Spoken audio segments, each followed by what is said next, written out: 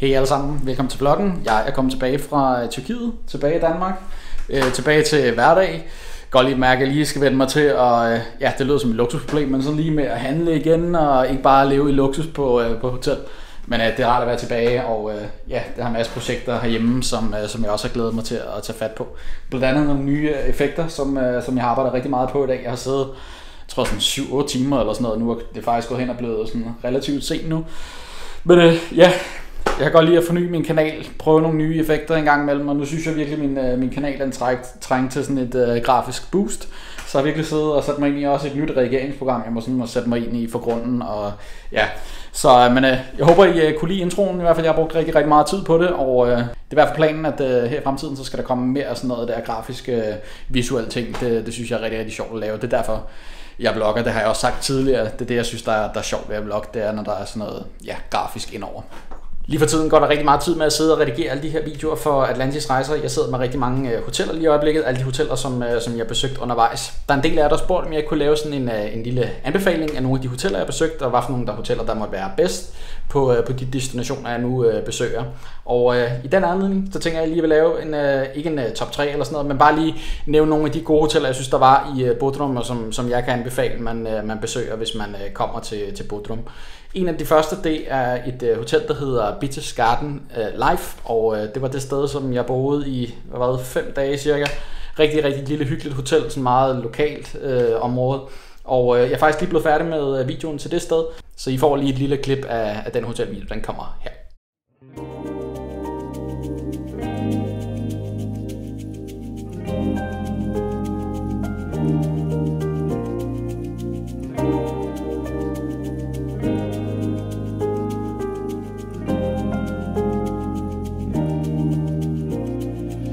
Det jeg synes, der var godt ved stedet, det var, at det var ikke særlig dyrt, og øh, faciliteterne var, var rigtig gode, øh, pænt vedligeholdt, og øh, så kan jeg godt lide, at det ligger sådan et lokalt område, hvor man kan tage ud og besøge øh, de lokale, øh, sådan, og det er ikke alt for turistet. Jeg synes tit det der med, når der er alt, alt for mange turister, så bliver det for meget. Altså. Så øh, det er en af grundene til, at jeg har valgt det her hotel, og øh, jeg vil give det 4 ud af 5 stjerner, og jeg synes helt klart, at det er et sted, der er værd at anbefale, hvis man kommer til Bodrum.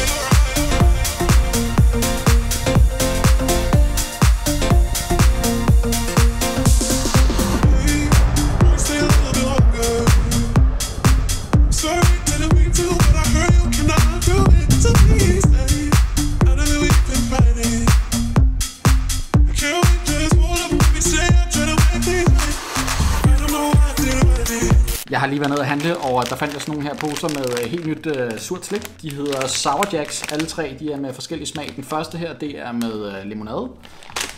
Og så er der en med watermelon, og så er der en med green apple. Jeg beklager, at jeg ikke har det helt store indhold til jer i dag. Jeg har simpelthen siddet og redigeret hele dagen. Men I plejer at være rigtig glade for, øh, for slikanmeldelser her på min øh, kanal. Det der vil være traditionen for os. Så jeg tænkte, dem her dem bliver jeg simpelthen nødt til at prøve. Den første her med watermelon. Lad os da prøve den og se, hvad der er for noget. Hov, jeg skal også lige huske at sige, at jeg har også købt sådan en her fra Nørregade. Jeg har set, de har haft den øh, et stykke tid. Den er ikke helt så ny som, øh, som de her. Men øh, det skulle også være sådan nogle øh, sure så den har jeg også lyst til at prøve at smage. Så den får vi også lige en anmeldelse på til sidst. Den første her, det var den med watermelon. Dufter virkelig, virkelig godt. Dejlig syntetisk. Det ligner faktisk nogle øh, vandmeloner. Okay. Det smager faktisk okay. Jeg synes umiddelbart, sådan lige når man får ind i munden, så smager det enormt syntetisk. Altså sådan virkelig, sådan der nærmest af parfume eller sådan noget. Næsten for meget faktisk. Man kan også smage sådan eftersmagen af det. Lidt for parfumeret efter min smag. Konsistensen af den, den er faktisk, øh, den er faktisk rigtig lækker. Den er så meget øh, enormt blød i det. Og sådan skummet der kan jeg også meget godt lide. Men måske lige en anelse for meget øh, smag af, af vandmelon. Den næste her, Green Apple. Lad os da prøve den. Også øh, samme pose, samme mærke og det hele. De ser sådan her ud. De er lidt øh, grønne i det. Mm. Den er god. Igen sådan meget, meget blød konsistens, blandet med sådan noget øh, skum, og så er der sådan noget øh, surt sukker udenpå, som også smager rigtig, rigtig godt. Den her kan jeg bedre lide, den er mere, sådan, mere naturlig i smagen, den er ikke lige så kraftigt parfumeret som den anden. Selvom øh, det står på en, så kan jeg faktisk se, at det er produceret i Danmark. Så det er noget, øh, det er noget dansk slik, det her. Jeg ved ikke, om det er nyt. Skriv ned i kommentarfeltet, hvis, øh, hvis det er noget, der har eksisteret længe. Jeg har i hvert fald ikke set det før. Jeg er ret sikker på, at de er, de er helt nye, de her. Så var der den, øh, den sidste her, og den her den er med øh, limonade. Sådan her ser den ud. Den er også øh, med det her bløde skum her, og sådan fuldstændig samme form også. Det smager rigtig godt. Den er heller ikke så kraftig, ligesom den første der. Det smager bare sådan af ja, god vingummi i virkeligheden. Virker som om det er sådan en rigtig god kvalitet. Jeg kan godt lide, at de er så bløde. Mm, dem kan jeg godt spise mange af. Hvis jeg lige skulle vælge en øh, favorit af de tre her, så helt klart den her Green Apple. Jeg gav øh, 10 kroner for dem i øh, Fakta per, per pose. Der er 100 gram i, så det er faktisk ikke så galt. Jeg ved ikke, om det er tilbud, eller om det er fast pris. Det er jeg rigtig klar over, men, øh, men det er virkelig, virkelig godt. Hvis jeg skulle give det en samlet anmeldelse, så vil jeg nok give det øh, 4 ud af 5 stjerner. Så var der lige de sidste her, de her Nørregade, der blandet stærke og syrlige bolcher. Så det er ikke alt sammen surt, men øh, lad os da prøve. Jeg har faktisk længe kigget på den her pose og tænkt, nej, det må jeg altså prøve at smage en dag. Jeg tænker, at de her umiddelbart, sådan nogle gule nogle her, de må være, de må være sure. Mm. Det må jeg sige, det var lidt skuffende, umiddelbart. Jeg havde håbet, den var mere sur. Så er der også nogle røde her. Det kan være, den er mere syrlig. Nej, det er den heller ikke. Den smager af de der, hvad hedder det, røde fisk, som er i, øh, i lossepladsen. Men smagen af dem er faktisk meget god. Jeg kan rigtig godt lide de røde her. Så er der også nogle her brune nogle. Jeg tænker, de smager lidt af sådan nogle hundeprutter, som man kunne få i bonbonbolser engang. Og det gør de også. Ikke en stor overraskelse på den front. Så alt i alt minder mest om øh, sådan en øh, bonbonpose eller lossepladsen.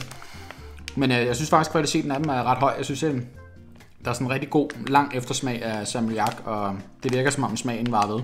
Så den kan jeg godt anbefale. Sådan en her, hvis man ikke har smagt den.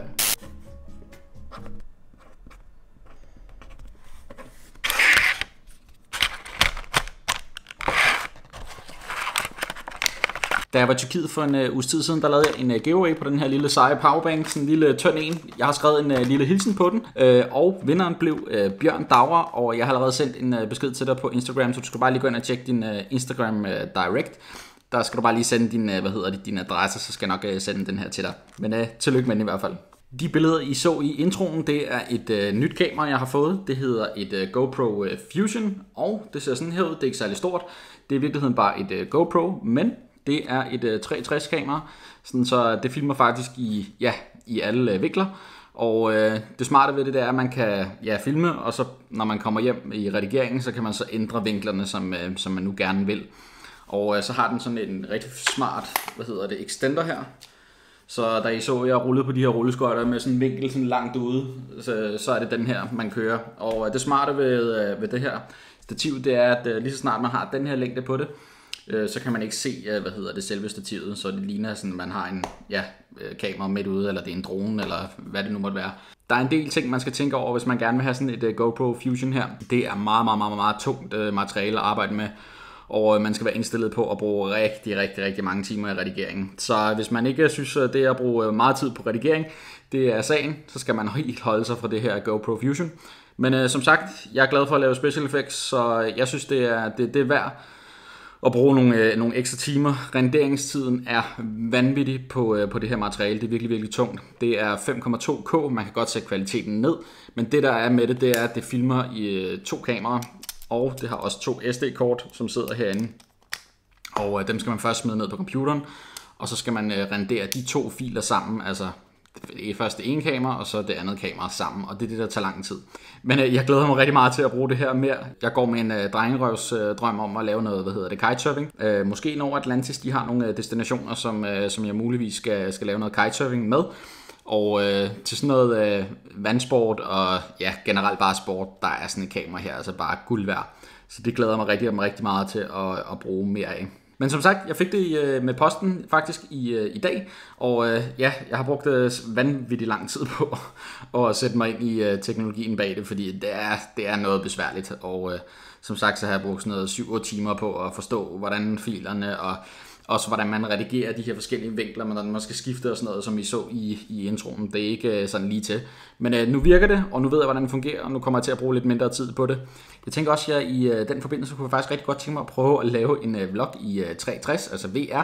Hvis I synes, det er en øh, god idé, jeg godt kunne tænke jer at se en, øh, en hel vlog. Jeg tænker en hel dag, hvor jeg bare optager i VR. Så hvis I har briller derhjemme, så kan I, øh, så kan I se vloggen i det, og ellers så øh, laver jeg også en version, hvor man så bare, hvad hedder det, tager sin telefon, og man sådan kan scrolle rundt. Det er ikke noget, jeg vil lave meget af, fordi jeg tror, at den blog, det, jeg tør slet ikke engang tænke på, hvor lang tid det kommer til at tage. Det kommer til at tage lang tid. Men øh, jeg kunne godt tænke mig at prøve det. Det kunne være sejt at sige, at man har lavet en øh, vlog i, øh, i VR, så det kommer på et tidspunkt. Så man skriv lige ned i kommentarfeltet, hvis I, øh, hvis I godt kunne tænke at se det. Men øh, jeg har ikke mere til jer i dag. Husk at øh, like og subscribe. Jeg rammer snart øh, 25.000 øh, subscribers. Jeg kunne rigtig godt tænke mig at, øh, at ramme de der 25.000 snart, så, øh, så smid endelig et øh, sub, hvis I ikke allerede har gjort det. Men øh, indtil vi ses igen, ha' det rigtig godt. Hej!